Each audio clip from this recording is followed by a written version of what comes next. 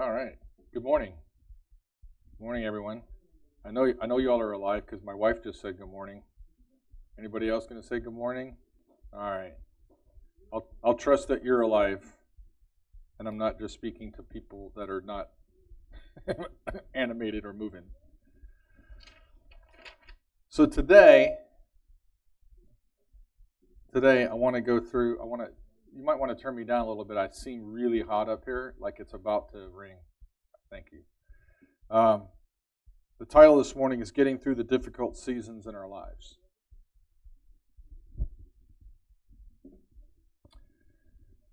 And uh, this is a big one.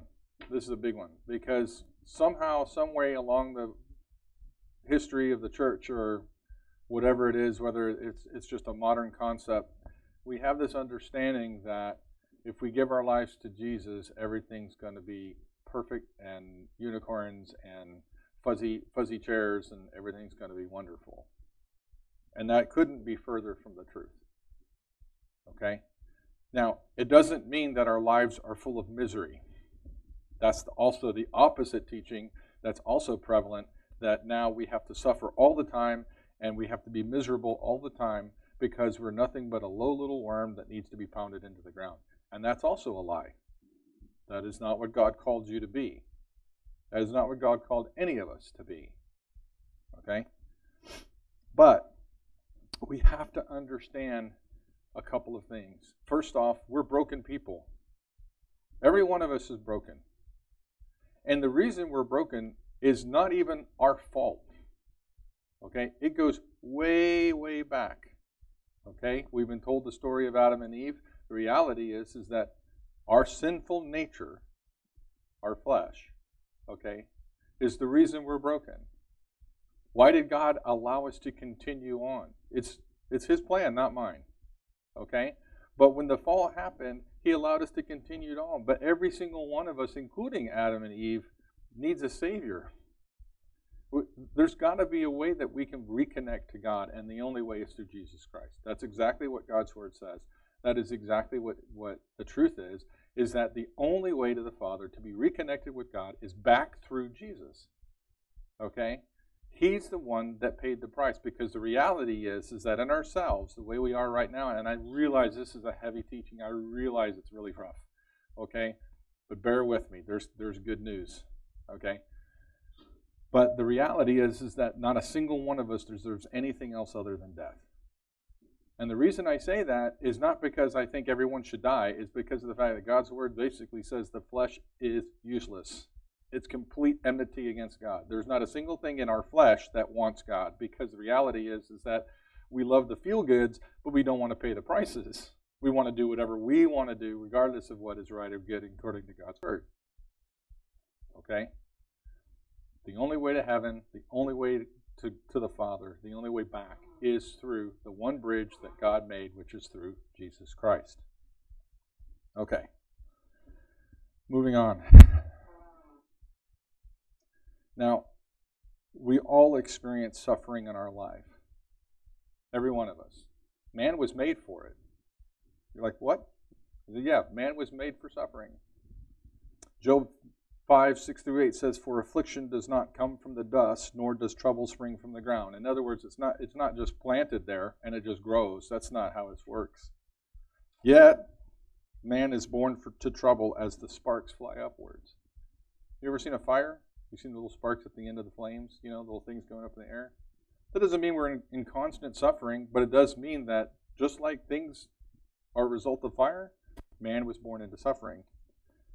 But as for me, I would seek God, and to God would I commit my cause. Now, this, this particular scripture was one of Job's friends telling him about how he thought Job did wrong and caused all these sufferings to come upon himself. But that's not the truth. But it's what his perspective was. Hey, if you do right, you're not going to suffer. So if you're suffering, you must have done wrong. Also, not true. There's other examples. Job, Job lost a lot. He lost everything. He lost land. He lost finances. He lost it all. Go read the whole book. It, it, it's amazing how much he suffered and how much he lost, but how much God restored. He lost family. He lost lands. He lost livestock. Everything. Why? Because Job did something wrong? No. Because God is sovereign. And God had a purpose for all of this. Other examples like David and King Saul. Okay? When David was, before David was anointed king, or actually after he was anointed, but he wasn't yet king. He was he was just a young teen. Uh, Saul kept him in his presence, all right, because he was he had favor with Saul. But then Saul turned against God and did his own thing. So God sent an evil spirit. He sent the spirit to trouble Saul. What? L- listen to that again. God sent a spirit to trouble Saul. Well, I thought the devil's the only one who troubles us. The devil's a pawn. He was created. He's working for God. In other words, I'm not going to say he doesn't exist because he does exist. I'm not going to say that demons don't exist because they do exist. Okay? When you're outside of Christ, when you're outside of God, when you've never accepted Christ, they have reign in your life. Whether you like to hear it or not, it's the truth. But once you give yourself to Jesus, their authority is over. And now it's God that's in control.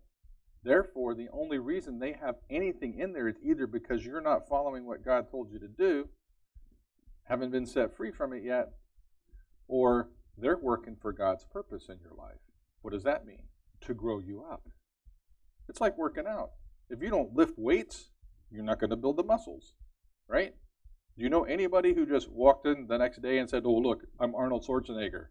Just miraculously. No, they worked out. So, in the same way, God grows you up by putting calamity or allowing calamity and, and destruction and disaster and things in your life. He doesn't necessarily destroy you. His, his goal is not to wipe you out. Okay? He's not there to crush you. But He is going to grow you up, which means that you're going to, in order for you to become a son or daughter of God, you've got to go through stuff. Because otherwise, we're not going to change. We're just going to stay the way we are. Okay? Paul. Well, anyway, when, when, when Saul would uh, uh, have the evil spirit, then David would play on his harp, and Saul would be comforted. If David was nowhere to be around, Saul was miserable. Okay? Whole nother sermon. Paul's many Paul wrote two thirds of the New Testament. Tell me one time Paul didn't suffer. He suffered greatly for Christ. And and although he was the Pharisee of Pharisees, I mean, he was the top ranking guy, he said, Everything I know, I count it as dung. It means nothing from knowing him. But he also suffered at the hands of man. Three times, Paul even prayed to God about a particular thing, and God said, My grace is sufficient for you. He didn't deliver him from it. He said, My grace is sufficient for you. In other words, he made Paul completely dependent on God. And that's exactly what God wants us to do to be fully dependent on Him. It's the only way that we become and do what He wants us to do. Otherwise, we're running in our own strengths. Jesus and the cross. You think Jesus wanted to go to the cross? Now let's think about this. Jesus is the Son of God. He is fully God, but he was also made fully man. What a what a enigma knowing that you're God and that you're also a man. And that you could use your, your authority and everything you have to completely end everything right now, and you chose not to. Wow, I, I can't even imagine that. I mean, because if I was, if I had that capability, I would, I know I would probably not do the right thing. Okay, especially in some of the traffic situations I've been in. Okay, but the thing is, is he did. He went to the cross. He even said to the Father, If this can pass, if this cup can pass, please let it do so. But nevertheless, your will be done, not mine. If you knew you were going to die tomorrow, and a horrible death at that?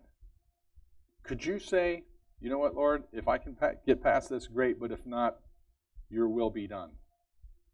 Woo, I'd be begging, are you sure this is the way we need to go? You know, I mean, it's tough.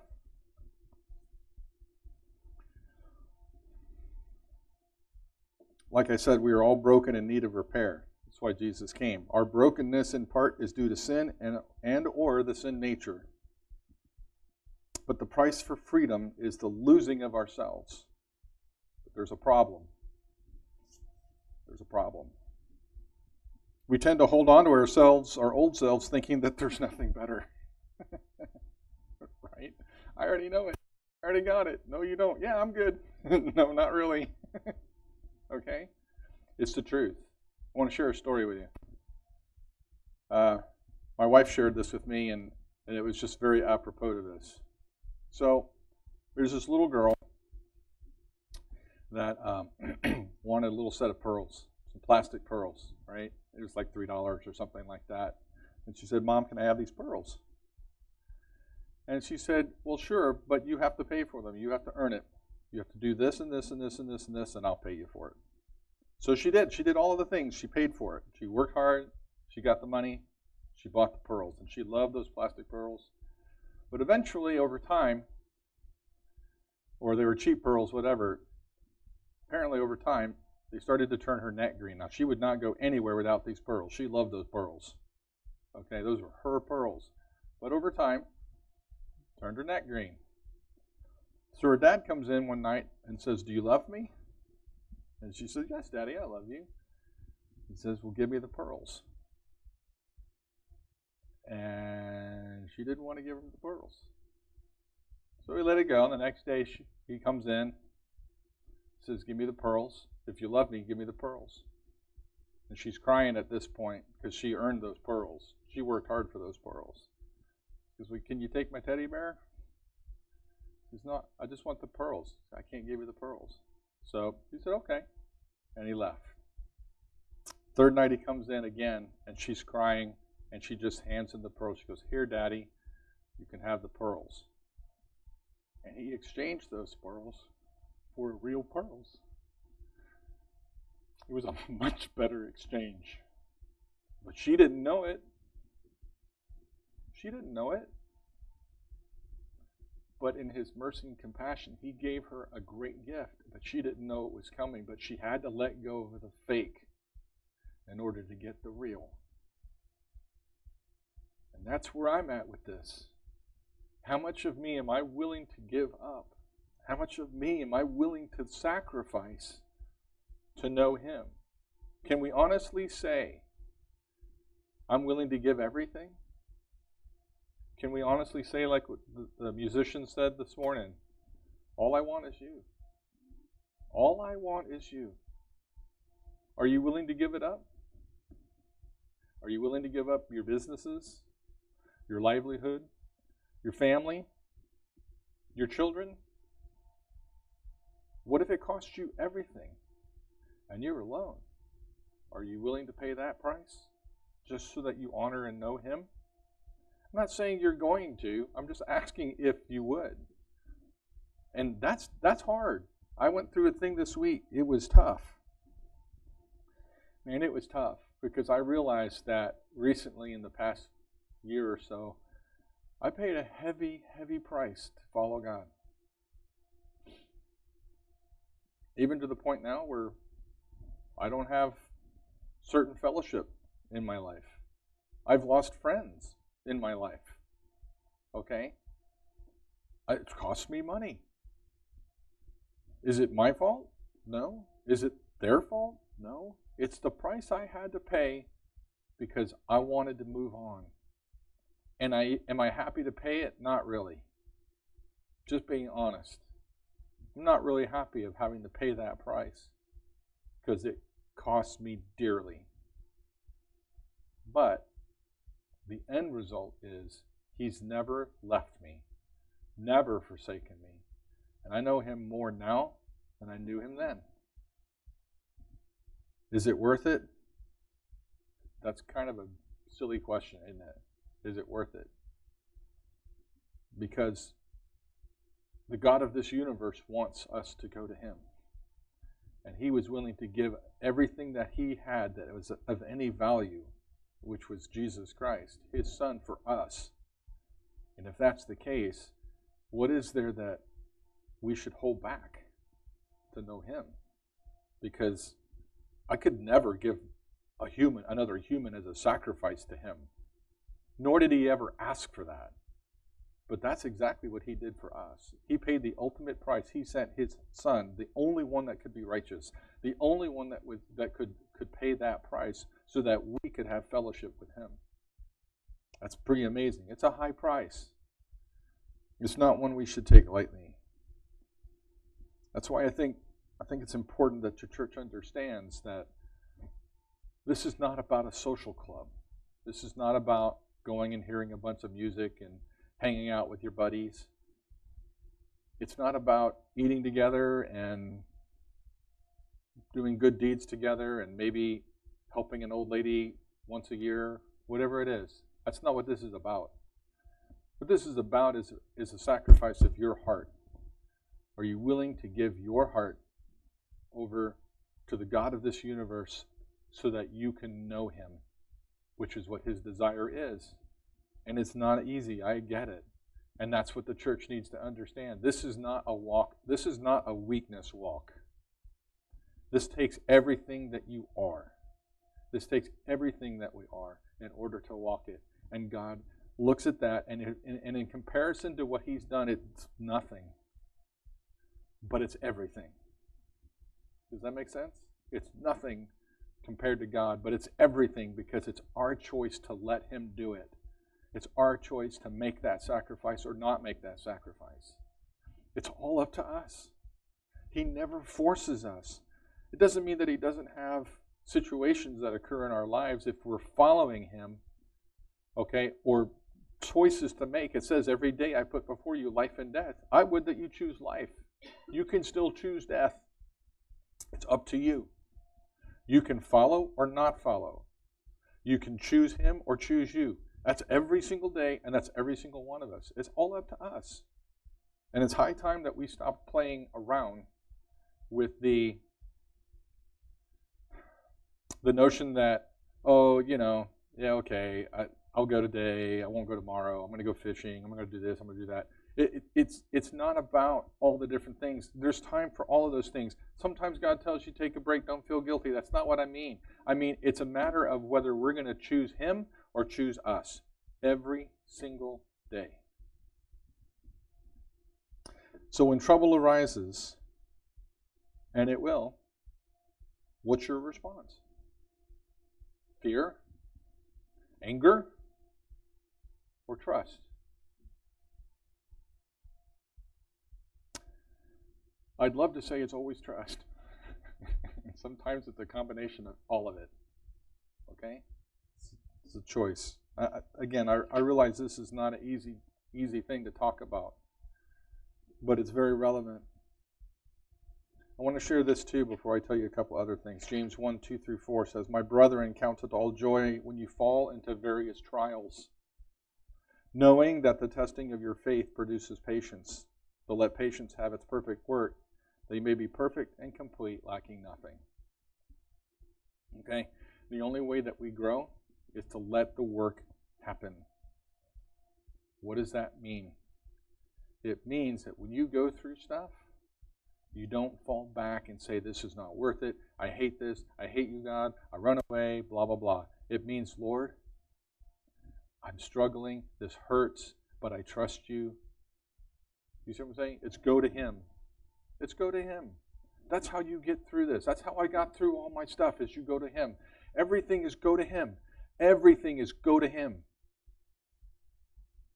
You mean pray? Absolutely, pray. Pray a lot. Okay? Get with people who will pray with you. Get with people who will strengthen you, not the people who will tear you down, not the people who will scoff at you or say, "Oh," you know, try and uh, uh, um, devaluate your emotions or whatever it is. Remember, I, I, talked about another sermon a while ago about how to how to rightly deal with your emotions. Okay, trust me, when you're going through stuff, you're going through some emotional stuff. Okay? Emotions aren't wrong. There's no such thing as wrong emotions. There is such thing as wrong reactions. Okay? But the point I'm trying to make is, is that He's there. He loves us. The Holy Spirit was given to us to comfort us. And if you look that up, it's not just a, oh, I'm so sorry you're going through this. Okay? It's to lead us and guide us and grow us up and to work through us and to all the things. He's, he's literally our connection. The Holy Spirit is our connection to the Father through the Son. And because of Jesus, what he paid on the cross is the reason why we have the opportunity to fellowship. When you hear God's voice, it's the Holy Spirit. When he gives you an answer to prayer, it's the Holy Spirit. When, when you have that inkling that mm, something's not right here, that's the Holy Spirit. When you when you cast out a demon, it's the name and authority of Jesus. It's the power of the Holy Spirit. Resurrection, power of the Holy Spirit. Healing somebody, power of the Holy Spirit. It's the Holy Spirit. That kind of fellowship is what He desires from us. That's what He wants. That's why He gave us His Spirit. That price was paid so that we would be reconnected. And yeah, you're going to go through some things. Is there a single person here or on the internet that's never gone through something? And if you raised your hand, you're lying. Because everybody goes through stuff. Everybody goes through stuff. Okay? Even Pastor Howard. Just saying. Okay? But if we if we if we run away or if we hide it, okay, all of those things, that's not what God wants. What He wants is for us to go to Him. Go to Him in prayer, seek after Him, seek counsel, whatever it is, go to Him. Because what He wants to do, literally, you're saying, well, He wants to crush me. Yeah, He does. Okay, like I said before in the very beginning, okay, we're not good for anything other than death in ourselves. But if He can, if He can take us and crush us and or, or, or get us to a position where we can be broken, He can put us back together differently the way He wants to so that we then represent and reflect what He wants us to be. You see what I'm saying? That's different. It's scary. It is scary. It's frightening because you're thinking, well, I like the way I am. The way you are is not great. And I'm not saying that because I think you're terrible. I'm saying that because according to God's word, unless you are wholly given over to Him, you're not ready. Just don't know any different. Okay? We get used to who we are. We enjoy who we are. Hey, I love going to see movies. I love doing this. I'm not a bad person, blah, blah, blah. Those are the, you know, fine. You love go- going to movies. That's great. What about the content you're letting in your eyes? Oh, I love all this kind of stuff. Well, you know, is it wholesome? Is it going to bring you? And I'm not, please don't get me wrong. I'm not trying to condemn anybody for their movie habits. Okay, but what I'm saying is that is is everything that we consume really what we need to be consuming? Is what everything that we're involved in really everything we need to be involved in? And if you look at it according to God's word, there's a big conflict, at least in my life, between what God says is right and good and what I enjoy. I'll just be honest. Okay? But I also know that every time that I go through something, a little bit more of me changes. And suddenly, all the things I used to like, I don't necessarily like anymore. And it wasn't that I changed it, is that he changed it. And should I be upset about the fact that he changed it? No, because I find that I don't find that have the same joy in the things that I used to have joy in. Okay? And it's not that I'm a fuddy duddy. I'm actually pretty fun to hang, hang around, you know. And my wife is kind of like, eh. Okay? The point is this.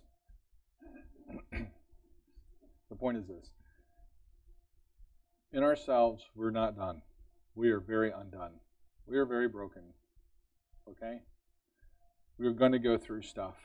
Okay? There's going to be times where you're on the mountain. It's like, oh my gosh, I don't think I can get any closer to God. And you're you're so excited and you're so happy for it, and the Lord is moving in your life, and you're blessed. I mean, it seems like you can do no wrong, and that's awesome. I love those times. But there's also other times. And those other times which are, okay, now that we've had that, I'm going to bring you over here so that we can correct this issue or this thing in your life that you don't even know that you have, so that you can be more like my son and, and experience me in a deeper, greater sense. Okay?